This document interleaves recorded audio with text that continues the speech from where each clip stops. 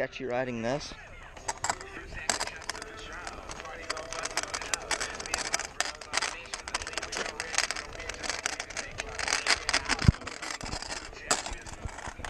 And then I'm gonna hop off, so let's hope I can get his first try. The camera angles are gonna be shitty because I have no one to record, but uh, I'm still gonna do it for you guys. So here we go.